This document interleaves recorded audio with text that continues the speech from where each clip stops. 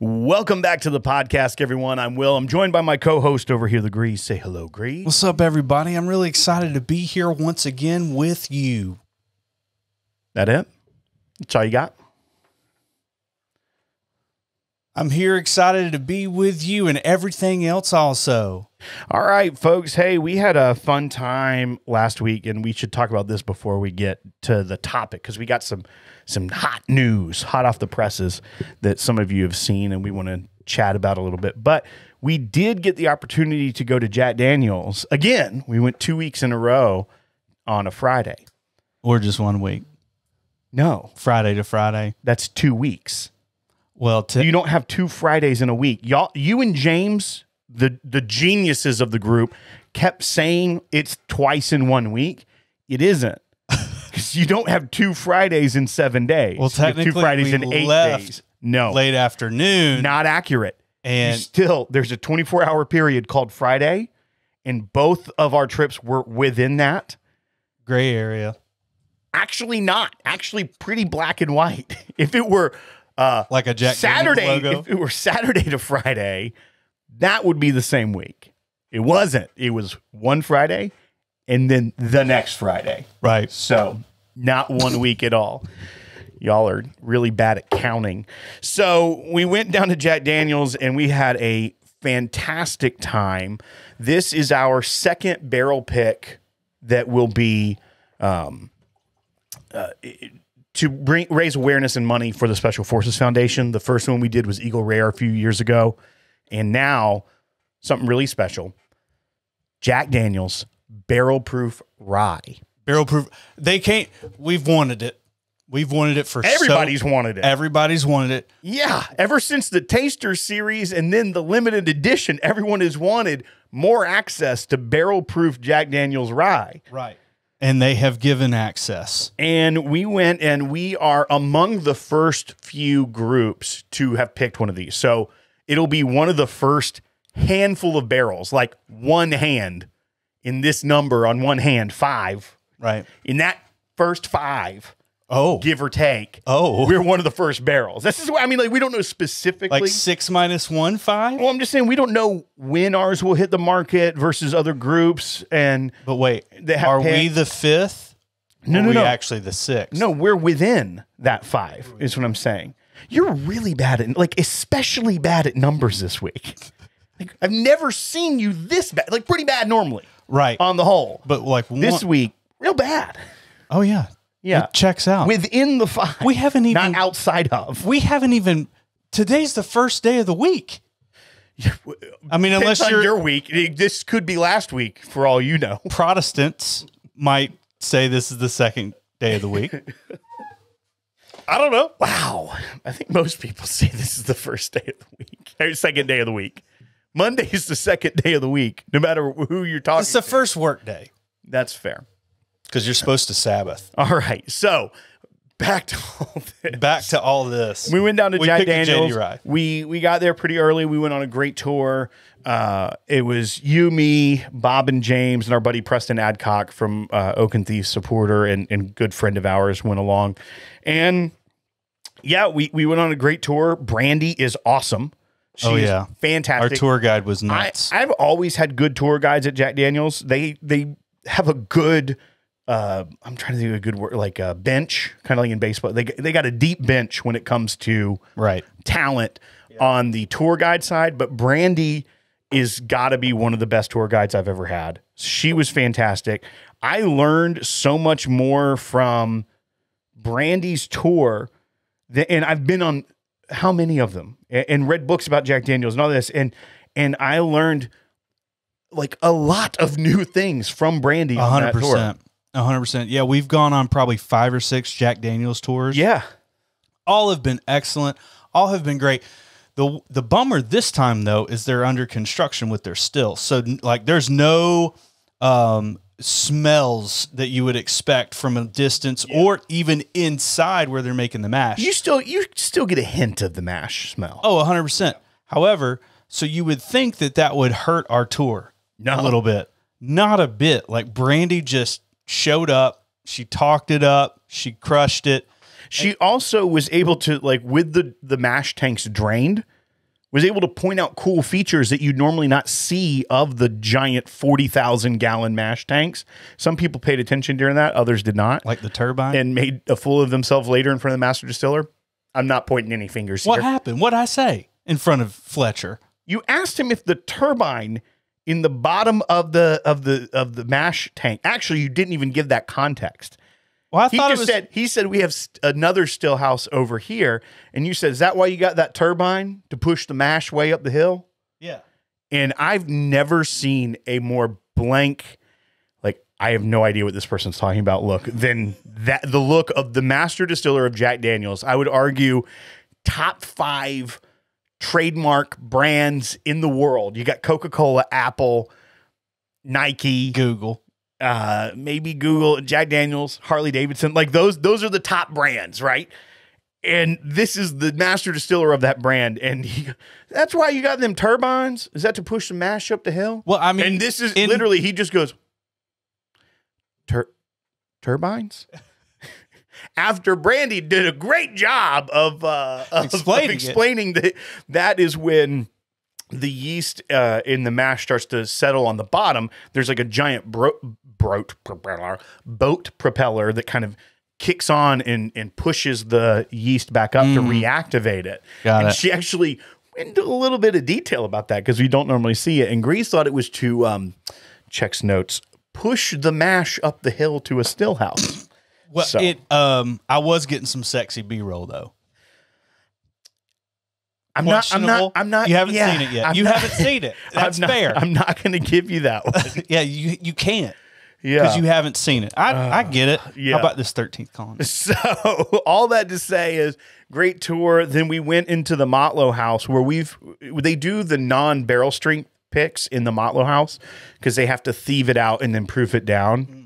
But if you're doing a barrel strength, they do it in one of the, the in that old rick house, the oldest rick house on property. It's the brick one that you go into. You go. We were on the third level. We walk into the Motlow house and there's Chris Fletcher. Mm-hmm. I thought he was just walking around, you know, like saying hey to people, just kind of being present. Nope. He's doing the barrel pick with, With us. us. Yeah, I was like, it was like, I, what is happening? I'm like, this is the greatest thing that's ever happened. And so we went upstairs and it was just our team, um, Chris Fletcher, and then uh, two two other people with the distillery. One who works with men, who we've talked about before, and she was kind of our liaison that day. And then we tasted through the barrels. We we we popped the bungs. Um, James and Bob had to do a feat of strength of hammering the bung into the barrel. Preston was smarter. He used the like waiter's corkscrew kind of to pop it out, and he, Right. he kept the bung, which is super cool. Um, yeah, So we did that, thieved it out, but then Chris Fletcher gave us a like if you're a whiskey nerd, dude, it was the greatest like 30 minutes of thirty minutes. I have it all on tape. science behind distillation, why he truly believes in the methods of Jack Daniels and and like not from a like because Jack Daniels himself did it. It's like but down to like the molecular biology. I mean, one, he's a genius. Yeah. Extremely smart man. But just going into the like the things that I was geeking out about listening to him talk about that you never hear people talk about. Like even down to why their 12% malted barley is the right percentage because when you have that, it's enough uh, f- uh, food for the, the yeast to break down into maltose, which is a Right. different kind of sugar than glucose, and why that's a better sugar for the distillate. Like, just fascinating, right. fascinating Well, from a I standpoint filmed, of, of I filmed the whole thing. I held the camera for 30 dadgum minutes. And I am going to use that at some point when you get mad at me. I'm going to say, remember that one time I held that camera for 30 minutes and almost passed out? I'm going to have to bring that one back precious. You think that one thing is going to save everything? Well, it'll help. No, it won't save No, anything. No, I was impressed because I actually thought you were just kind of getting some B roll and just recording the audio and we'd use it somehow. But after you're like, no, I, went I, recorded on. the whole thing, which is great. It is great. I'm sure there's a few times where you like like uh, shiver a little or something that we're gonna have to like throw some B roll over. But Yeah, I, Other than that, I feel like I definitely broke something at some point during that, or the, like the water like the dropper. camera. No, the water. You may, you may have dro- broke the camera a couple times. I don't know. yeah, Patrick, you watching? nope, nope. Look for dings on No. the body. No. look for dings. No, Um, don't tell anybody. I won't. I won't tell anyone. So all that to say, it was great that we're going to get that barrel in, in the next handful of months. Uh, as you know, it takes a minute for them to. Fletcher Okay, process. estimated on his normal workflow, and this could all change, but it was a couple of months. Yeah, like three to four months is something you should, you know. But um, that's going through uh, Oak and Thieves. So Oak and Thieves uh, will have an opportunity to get that. We want to support the Special Forces Foundation. Also, they're going to get a portion of the barrel to use for fundraising, awareness purposes like that. It has a very cool tag, kind of like the one we did for where it's the medallion on the Eagle Rare we did said the PodCask for Special Forces Foundation. This time it says Oak and Thieves for. So Yeah, I love it. yeah, so that's fun. So if you are interested in getting a Jack Daniel's single barrel rye, one of the first ones, uh, barrel proof rye, go to oakandthieves.com and join our barrel club. Easiest way to do it. We also, We also have this is big, huge news. Yeah. like an 11 year old 13th colony rye. Right, right. We've got coming. We've got a rye three toasted, Yeah. and And it we got a rum coming at some point. not as much. Not as much, but we do have some rum. Rum coming. Uh, but also, if you uh, are, are watching this now, probably next week's show we'll be doing this big announcement and big rollout. But I want to give you a heads up. What's coming is that we had been using two retailers for Oak and Thieves, and um, it's always cumbersome, right? Like figuring it out, getting it right.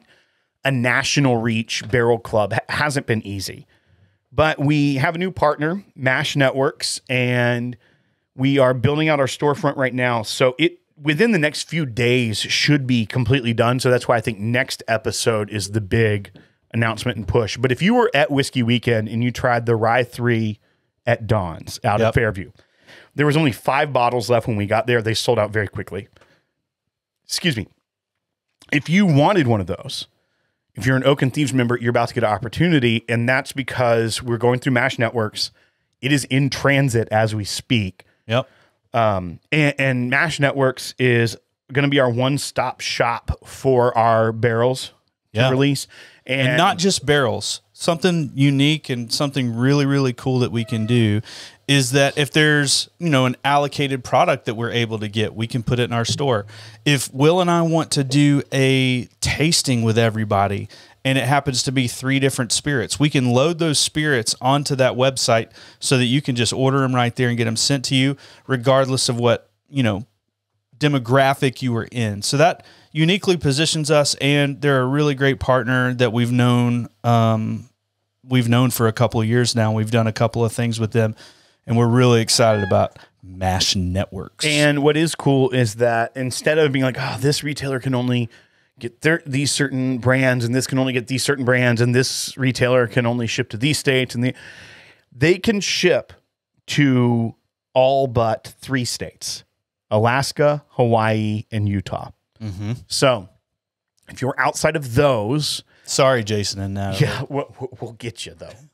They, they've got a workaround. They know it Oh, 100 but uh, but it- all that to say is that you will have a um you won't have to worry about that because they ship to all the states except for those three and also they because of the reach of their network they are able to get even regional spirits like 13th colony is only in five states it's in tennessee georgia um, I think South Carolina, Louisiana, and Texas, maybe. And so it, it's harder for some people. We talk them up. We love them. I call myself the Tennessee evangelist for 13th Colony. And we want them to get bigger. That's why we're happy to be able to use the uh, the power of Mash Networks and the PodCask to try to get some of these brands that we really believe in, that we love. Leiper's Fork, that's another one of them.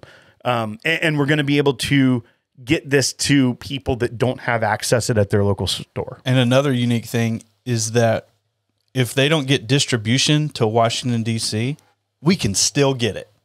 So we're not Right. deal we're not dealing with the the hoops. Yeah, that's what I mean. Why with the regional players that are only in certain states, we Right. That Mash Networks has a very innovative platform and, and way to bring it to the masses. So, all that to say, if you're interested in the things ahead with Oak and Thieves, with me, Greeze, Bob, and James, check it out at oakandthieves.com. We'd appreciate your support over there.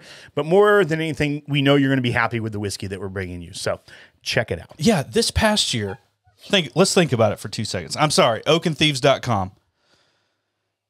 We had a four roses OESO. We got a hogback, which is a very unique single barrel that was super crushable. Right. We've done a couple of blends that were phenomenal. I we think, got honestly, a I think Russell's. one of my favorites is the Penelope. is the elegance. Yeah. It's pretty dang. It's one of my good. favorites we did. Yeah. Um, it sold out by the way. I know. Thank you, James. Um, the uh, what was another one that I just We did two new Nulus, two new Nulus. No, the um Russells. We did a Russell's pick. right? Russell Man. We did a 1792 Full Proof single barrel pick. right.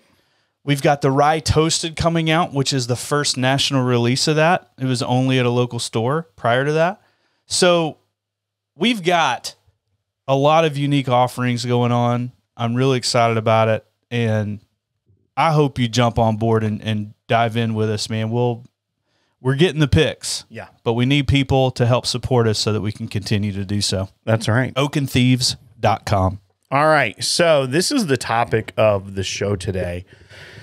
One thing we've talked about quite some time is the the unique and I would say negative feature of Kentucky um, bourbon law is that uh, Kentucky has a tax that they put on the barrels as they're aging. So it's almost a disadvantage to age up your product because the longer it ages, the more tax that you're paying on it. And that tax is due on an annual basis.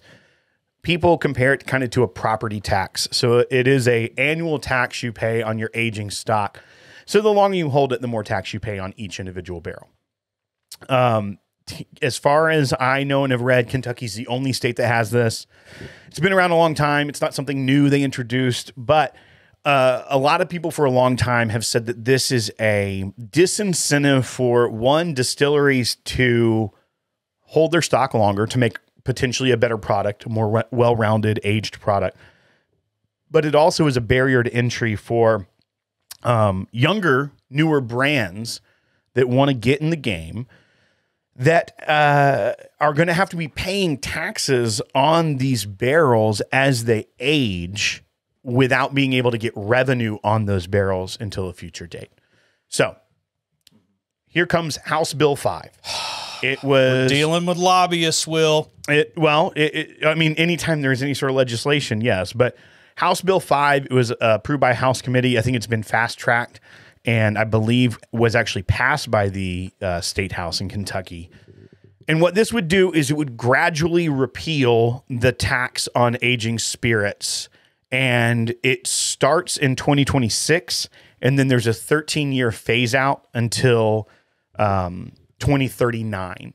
So that way that it's not a revenue center that just vanishes for communities, for for localities that use the tax revenue, this this property tax specifically on aging barrels, um, for for civic projects for things within their city.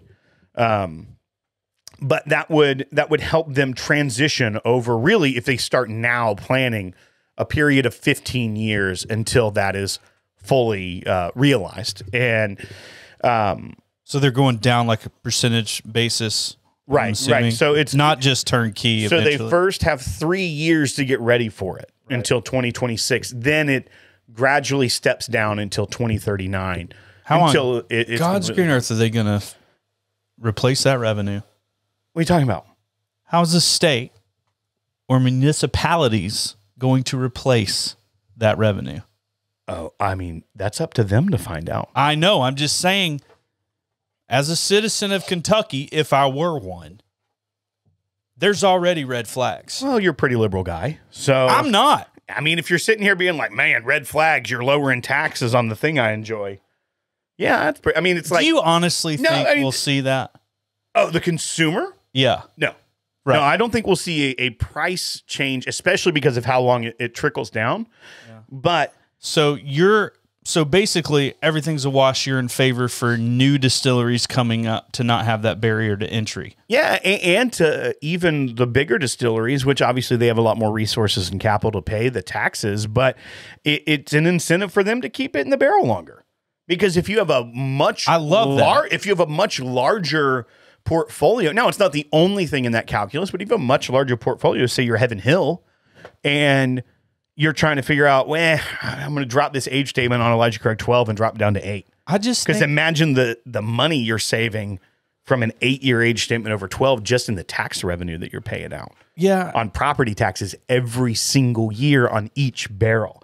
They're still Oh, gonna- it's garbage. Dude, they're still going to have property garbage. taxes on the land that they occupy. Right. They're still having uh, all sorts of excise, excise taxes that are on it. Uh, the bottle of bourbon is 60% taxes. The price in a bottle of bourbon is 60% tax. Stop it. Yeah. So this is just one caveat. This isn't like all of a sudden it's an untaxed commodity. Right. There is still no, it's garbage. I agree with you there. I just think that there is you don't a you better don't think- solution. You don't you think there's a better solution than just repealing a tax over 15 years? Yes. What's the better solution? Over a certain age, no, t- no more tax. No, see, I think that's even worse. Then that's in favor of the bigger brands. The bigger, yeah, but it's also in favor of aging out product, like you said it was. No, but what about for the what about some that is only and you said lobbyist, that only helps the people that can pay for a lobbyist. That doesn't help a that doesn't help the 13th colonies. 13th colony fortunately is in Georgia and doesn't have to pay this. Well, I'm just sitting here. My two things were how how what would incentivize incentivize older product. Crap shoot of a situation that it was already in. We're sitting there in Buffalo Trace looking at all these freaking barrels, and we're like, they're paying taxes on this crap right now. That's unbelievable. You know, on the fill, you know, and not on the bottles. They end up charging tax on the bottles, but um, sorry, that was a tangent. What was I saying? The You tell me what you're saying. I just think You said there's a better things- way to do and I don't know what the better way. What's the end aging up and continue getting revenue in that way. I think, I really do think, and this isn't a very conservative standpoint clearly? at all. yeah. Hang on. Got I just had to, you know, Get loose a little bit. get my wiggles out. Yeah. So, the big boy distilleries, Okay. they're avoiding the tax, which can what? They're not a, What- they're not avoiding. They wouldn't be Well, they, avoiding it. they've lobbied. They've, they've lobbied to avoid it. We can say that. they have as well as I think other people that see that in general the bourbon industry brings in so much money for the state whether it be tourist revenue so you've got hotel lodging taxes that go up because of this industry that goes to fund the roads and the schools and the emergency services the sales tax of when people come into the state and spend things like it's not like all of a sudden there's no revenue source for these people Right. in yeah, are they going to have to get a little creative?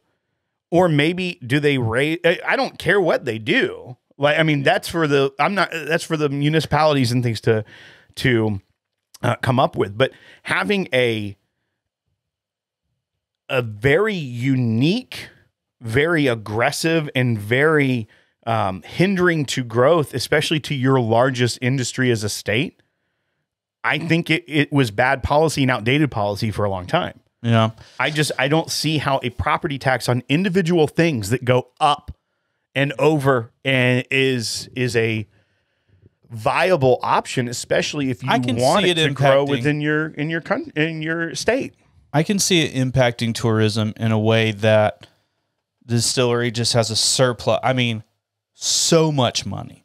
They are going to have so much money when they don't have to pay those taxes. I, I don't know that it's Sixty percent. no. Once again, Oh, retailer, not- distributor. that's not sixty percent tax that on that's the the the the excise tax the the aging tax the um on the barrel that is every tax on every bottle of whiskey so if you pull up a bottle of whiskey I'm like, I don't know if I want to hold those up. What are a little dusty. so this, this uh, old granddad, it's the federal taxes, the state taxes, the sales tax, like every single kind of tax that goes into the pricing of this bottle. 60% of the price structure for this bottle is made up of taxes. Not just so it's not that you're cutting 60% price drop off of this. That is just one component in the 60% that makes it up.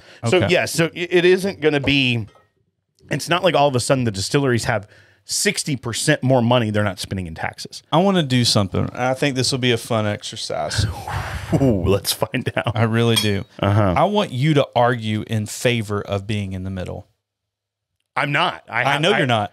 I, want you to I, I argue. would never want to argue that because I don't. I don't a- agree with the concept of it. But what what's in the middle? See, I don't. I don't see what a middle is. What your middle was was only in favor of the big. Uh, here's an argument. But. I just thought about it. I thought about it for two seconds. Here's an All ar- I'm here's an saying is there's a lot of smart people out there that could just think about it. well, I don't want to give them any ideas because I think that it should go away as a tax. So you're saying benefit the big distilleries, I think incentivize I each think product bourbon as it's, I using that alcohol. income. You interrupted me. Sorry. Using that income Uh-huh. to bring tourism, additional tourism to Kentucky would be a way to, you know, kind of balance those budgets a little bit. I'm not telling the company what to do with their money, Right. but I'm also don't like the concept of they're already paying corporate taxes. Yeah, if they have a bigger um, profit, the state corporate taxes are going to go up in revenue. Mm-hmm. So the state themselves could counterbalance what they dole out from corporate taxes to, but they are pinpointing their most famous and biggest state industry. They are discriminating against that one industry with a very unique tax. I agree. It's So- garbage. So let's say healthcare. You're a for-profit hospital. Okay. You're not. You're not. Um, uh, uh, Subsidized. yeah, well, you're not like a Baptist hospital or, Copy or. Saint uh, Saint Thomas. Vincent's or Saint Thomas that is like owned by a church entity, which are nonprofit entities. Scottish right. You're a for-profit hospital.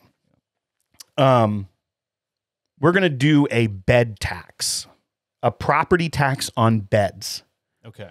because you're really innovative. People are coming from all over the country for your cancer treatments. I mean, and, and- you've and already this, got me. This I is a it. this is probably not a precise analogy, and I'm going to get torn apart. It's pretty good though. It's pretty good. But it's it is say it say it is the for Tennessee because we have a large healthcare. So Centennial um, or HCA. Yeah. They're they're one of the biggest companies in the state, one of the biggest employers. People come from all around the world to get healthcare from the, this company. Well, because they do so well and they bring such fame to our state, um, not only are they going to pay property taxes on the footprint of the hospital, but for every bed in the hospital, we're going to charge a a surcharge. And so the more beds you have and the Who's longer to say we don't already? I don't know if we do or not, I've but I seen think that it's line. bogus. I I've think seen that bogus. line item. Let me go ahead and tell you something. An Advil cost me eighty dollars, Right. and so let Yeah, me go ahead and tell you something. There's a bed tax there, one way or the other. Will once again, like I said, there's a way. I think uh, the tax on on our healthcare system is called the insurance industry, but uh, but once again, Big not insurance. to say, but it's if they as a state decided to, and that's not federal, it's not whatever. Not trying to get too political or into policy here, that because we have a lot of messed up taxation, I think, in our country. But um, if you were to pinpoint one industry and one that does arguably the most for your state, has brought the most tourism, has brought the most things, and you have an outdated system and it literally is taking your product as it's being made and taxing it.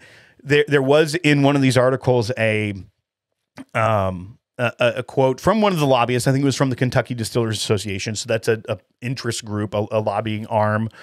Um, said something to the effect of like you're not taxing a car as it's going down an assembly line. Mm -hmm. That's what this is doing. right? It, it's taxing the product as it's being made every year until it's done. What if you just taxed them on the engine that they put in the car? I don't know what the analogy to that. What's the engine here? Oh, you know, it's at a certain point you tax it. Well, one, I see, I would almost argue, you know how you said, what if it's all the way up into a certain point you're taxing? You're saying flip it. Flip it. Premium, ultra aged products get hit with a excise tax. I don't think that's good, but I think that would be Wouldn't be good for the whiskey connoisseur for sure. No, but I think the people that are aging it up to that level, the the companies do have the resources to make that calculus. Whereas if you said 12 years and above becomes an ultra aged product and you put a a, um, And you're a only luxury tax and you're only taxed per bottle that it fills. Uh, see, but then that that runs into a lot of issues as well Right. because if they're bat no, if they're batched, if they're batched, Right. uh, things of that nature that I don't know. I think that could get hairy and become a headache for as well.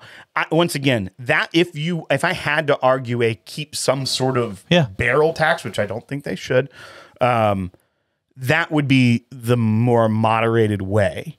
Is that it is, um, and that's how they'd step it 15 years ahead. Just charge a 100% tax on the first year and then that's it. So glad. Please, no one ever vote for Greeze to do anything ever in public office. I honestly thought you were going to be so more tilted than you were. I appreciate that about you. You thought it was going to be what? I thought you were going to be tilted, What do you mean tilted? just upset with me just then. no, no, no, no. I'm I'm very confident you will never get elected. Oh, in for any capacity. sure. For Yeah, sure. yeah. I got kicked out of the mayor. That's the one thing that I uh, I sleep easy about Right. at night is that Greeze will never hold public office. Have you ever woken up, though, from a bad dream of me winning public office? No, no, no. That dream, it's one of those lucid dreams. You automatically, if if you ever win Oh, you're just like, a nope. race, it's like, oh, this is one of those dreams. I can fly now. Right. Like I can jump in the air and flap my arms and I take off soaring like Superman. I'm in a dream. There are no rules. Yes. So, like at Outback Steakhouse. I love. oh, There's no rules. I thought you were talking about a back, um, an Outback Steakhouse situation we were in one time. Well, I have those dreams too about Right. Outback, Bloomin' Onion, Blokes and Sheila's. Oh. I love, dude. They ta- people talk about the bathrooms always automatically second. Oh yeah, Bloomin' Onion, Blokes and Sheila's. Then you get the Sweet Chuck chicken sandwich. Yeah, and the Victoria's Secret, whatever it is. What's it called? I think it's a Victoria's Filet. Oh, that's at Longhorn. Oh yeah, yeah, yeah. It is. It is a Um, Victoria's Filet. Victoria's Secret is a lingerie store. I know, but what? Oh, Alice Springs Chicken. Alice Springs Chicken is. Great. I knew it was a girl's name. Sweet Chuck is the sandwich form of Alice Springs Chicken. Greatest honey mustard known to man. At Outback. Yeah, that's what they put on the Alice Springs Chicken and on the Sweet Chuck. Oh, you know what? It's pretty solid. I do. I do. It's a top five honey mustard for me. Second place, Oh, Arby's. I don't go to. I don't go to. No, it's actually Jim and Nick's. Jim and Nick's honey mustard. Oh. Solid. Yeah, They are solid. I like Heinz. Savage. Golly. I would never. I literally I questioned our relationship like immediately. Well, now you know how I feel. I know. On the reg. Yeah, yeah. Oh man. All right. So Woo! Man, hot in your basement tonight. Hot in your basement. I know. Have we figured out where we land on on this issue? Yes, I I am You're pro. very pro House Bill 5 and I look Are you pro to its 15 passage. years? Do you think that's a good amount of time? Yeah, I, I think it's an appropriate amount of time to give the municipalities and the counties and and and even the state that wants to help support um, in different ways or reallocate some of the funds from sales tax or lodging taxes if they want to raise like a county can raise half a percent on hotel rooms you know like something like that that's really unnoticeable but that is for people coming to the state. That's taking outsiders money and redistributing it to the state. Totally fine with the state if they want to do that. Um, I just don't like the the targeting of a business that employs so many people, has brought so much fame. Um, to the state, and, is there one of the things they're proud of the most of them targeting it with a very weird tax structure. And I know people are, I, and hopefully you're commenting below. I'll read them. I'll respond to them. I think it's a fun topic to think about. Right. Um, it's something that I think has been a long time coming. I'm glad to see it making some headway. But it, it'd be like the same here. It's like, I mean, we don't have as many distilleries, obviously, but like saying that Tennessee is suffering because Jack Daniels barrels aren't taxed every year they age. Right. They're a humongous distillery. And that's like saying that that we would have, you know, the schools and everything because Jack Daniels isn't taxed, we're in big trouble. Right. And I don't think that's the case. Right. So I think that I think 15 years is a perfect amount of time. I really do because we all know how long it takes freaking state legislation to do something. yeah, So it's going to take a while. right. Different cities, it's going to take a while. They've got to restructure how they do things so that they don't go underwater after this is all done. I get it. 15 years sounds about right. I am pro this move. I wish we could have figured out something in the middle because I will say that I do think in state citizens will suffer in a couple of ways. If they increase the tax on tourism and stuff, your normal hotels, your normal restaurants, like all that stuff's going to be affected, right? Sure. I mean, if that's the path they decide to go. Yeah, and uh, or if they do a sales tax increase, like I feel bad for Kentucky citizens. I wish it was somewhere a negotiation. However, I don't- I don't think it was that- terrible. I don't think it's it- gonna affect. I don't think it's gonna affect Kentucky citizens. I don't think there's one person in 16 years from now that's gonna say we are 100 percent suffering because the barrel tax went away, and they even have a companion. Not if that, but what they even have a companion House Bill 447 that will generate funds for the school system out of the state's budget reserve. So it's like they're it's not like they're just saying, all right, figure it out. Like there are other measures that they're trying to do as well to help compensate for that and and also to grow the industry and to not hinder it and, and handicap it with something that is um out an outdated system. Right. There's a middle option somewhere in there, and there's a lot of smarter people out there. But listen, the lobbyists have spoken, Oh my god. it is happening. Wow. That's precious. They are. Well, and I Or mean, they did. I'm glad it's happening. Yeah. It's not just the I'm, lobbyists. here's the doing it. deal. If These are people that em- these are companies that clear. employ a large portion of the state 100%. and let me clarify my statement. Yeah. Okay. I am all for distilleries being able to not be taxed on that stuff. okay, That's so stupid. It never should have been a thing. except for you're saying that you want them to somehow still be taxed on it. I I think that the that the whiskey industry inside of Kentucky could pay some tax on that. They do pay infinitely more taxes than most businesses in that state. On the profit.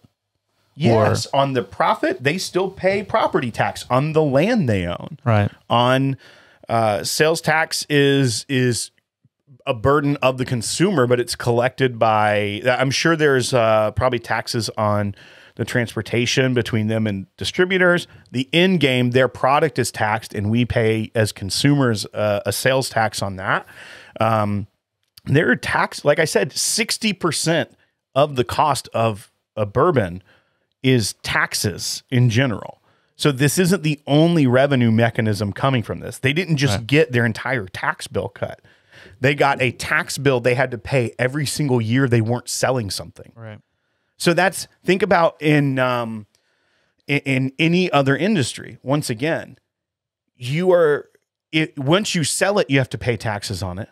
But every year you're not selling it, you're paying Right. taxes on it. Like I said, it's garbage. It's terrible. Yeah, but you're still trying to find a middle ground where they still have to pay. Something. They do. They pay a lot of taxes. I'm just saying, why couldn't you take it from like, I don't know, 47,000% down to like 2%? because it's not a fair tax. It's not fair. Right. So, but you're still arguing they should pay it. Right? They could probably restructure it differently. You can't. All you have to Give say me, is give me 10, give me 10. Dude, all you I'm not that smart. I'm just trying to No, ask I'm the saying- questions of the people. No, you are. I. You are. You are arguing that they should still pay it, even though you think it's a bad policy and unfair tax. And you're saying they just pay less. They are going to pay it, step down I over just- 15 years. I just want everybody to get along. At the root of it, Will, at the root of it, I want everybody to get along. And and we're not getting along. I'm not not getting along. Polarizing. I don't think it's as polarizing as you think. It seems polarizing. I, I mean, because you're just trying to find a, a sloppy middle. I'm typically always trying to find a sloppy middle. I go into Walmart and it's like open season after midnight. Yeah. I found it. What'd you find? Sloppy middle. I'm moving furniture tonight. It was next to the Nintendo and electronics section. Oh man! All right, you want to go to the 15? I would love to, Will. What do we got tonight? Uh, we got Blue Run Kentucky Straight High Rye Bourbon Whiskey. Hit the music. Cool. I tried to argue for the middle. I know that's fine. I mean, we had to have something to talk about. We did.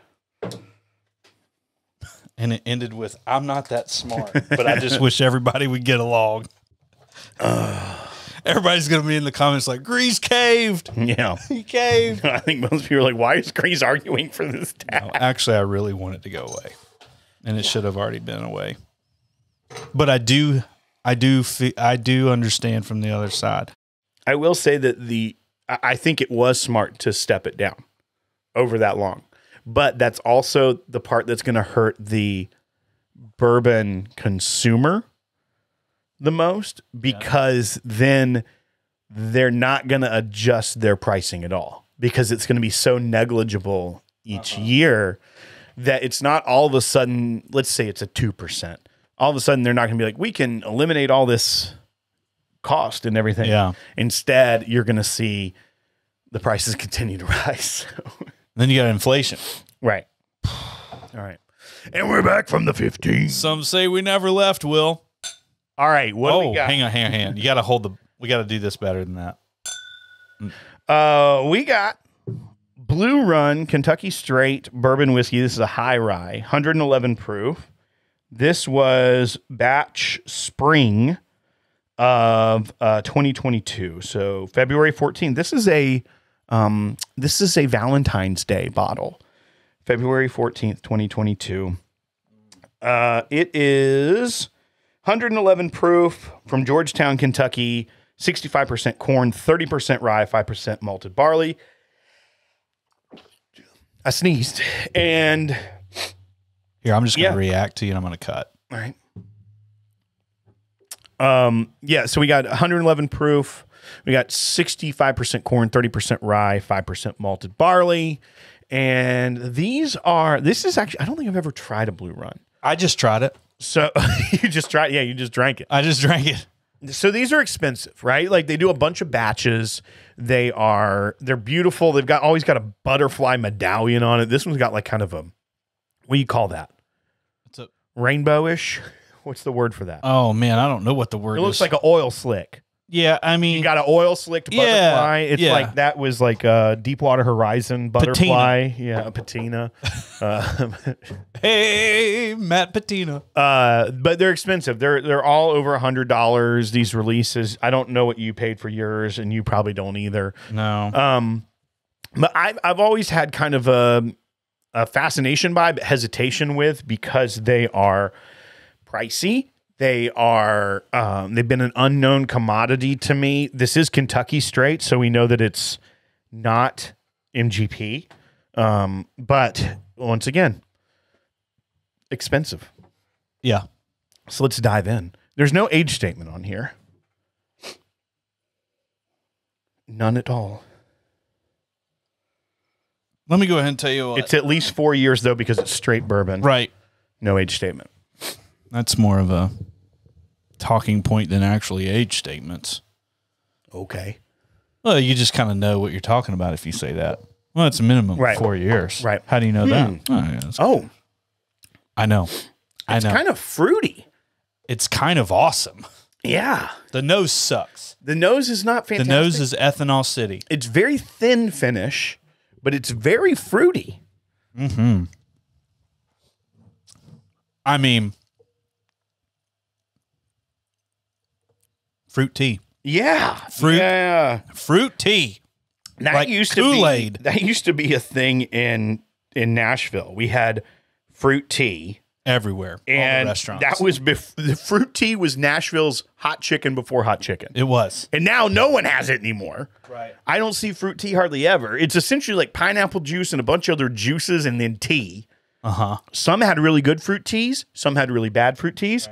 I kind of liked the more tea forward, I did too. You know, what was kind that of like a, sandwich a stop? medium sweet. What was that sandwich place? Bread and Company? Jason's Deli, No, Bread and Company. bread and You remember that place? no. There's one on West End. There was one here in Cool Springs. It's called Bread and Company. It was a fantastic sandwich shop, local place.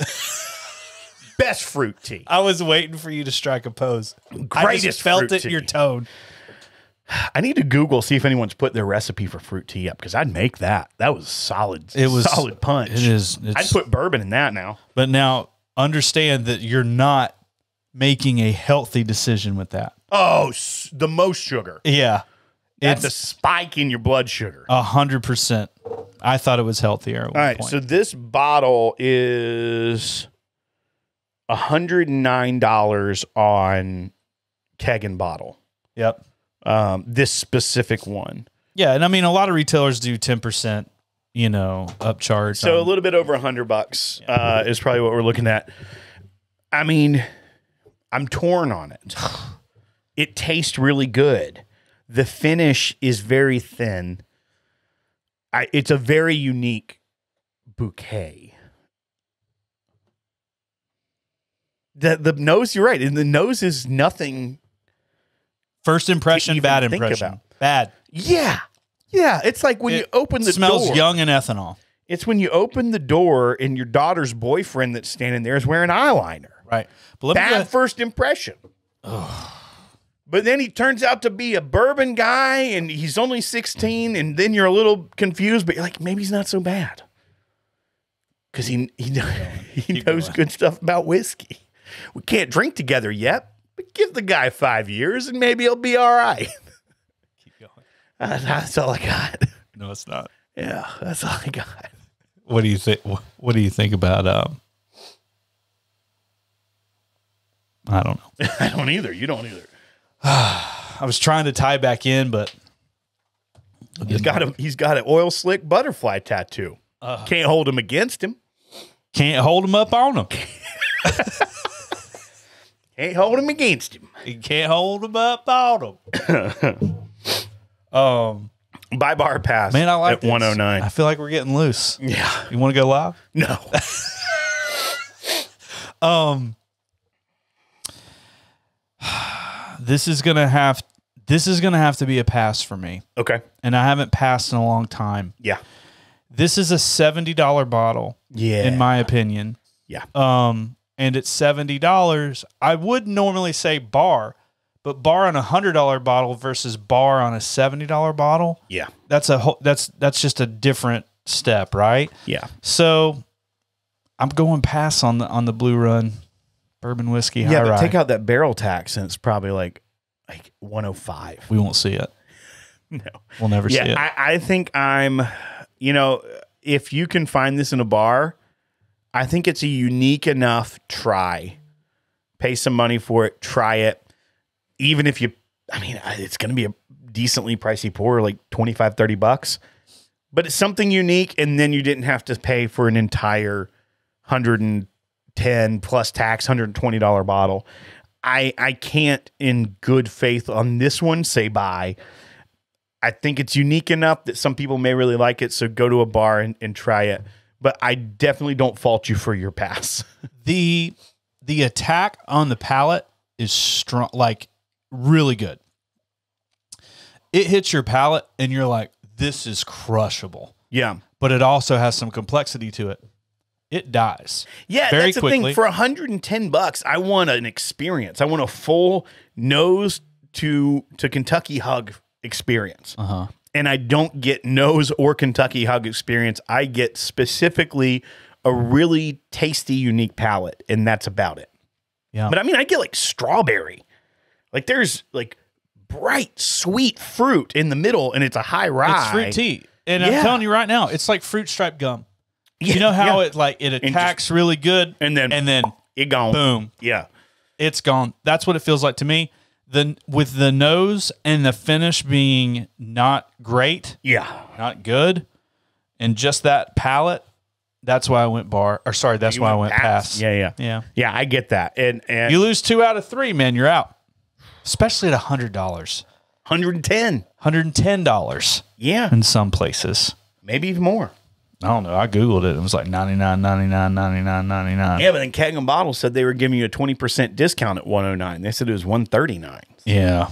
Well, Who's to say? there's if only retailers were uh Consistent. Oh, you're next next week on the pod on, on Greeze's podcast Socialism Hour, he's going to argue for federal control of liquor stores. um Stay tuned. they call them XYZ stores. Yeah. Are you an XYZ state? What does that mean? Federal government just owns you. Yeah. I don't know. X bam. And then you go, "Why did that happen?" And then everybody's like, "Zut up." That's the worst thing you've ever said. All right, folks. Thank you so much for watching. Greeze is pass. I'm a reluctant bar on Blue Run Kentucky Straight Bourbon High Rye from Spring Batch uh, of 22. That's 70 bucks I'd own a bottle. Folks, check out Oak and Thieves to get information and to be a part of our exciting releases coming down The pipe? the pike. The pike. Yeah, it's pike, I think. I think it is. But with you there, I knew you were going to question it. And so I'm like, just change, Will. Just change what you're going to say and just say something different, like coming down the roadmap. Just say something different. He's going to question it. It's got, not going to be worth your time. You're going to question yourself. That's always awkward. So go to oakandthieves.com if you want to see what we have coming up. And that would be Jack Daniels Barrel Proof Rye. We've got 13th Colony.